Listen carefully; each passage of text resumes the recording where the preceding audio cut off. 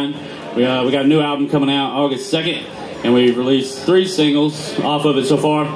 We got another one coming out next Friday. So, but this this next one we're about to do is the first one that came out off the new album. So here it is.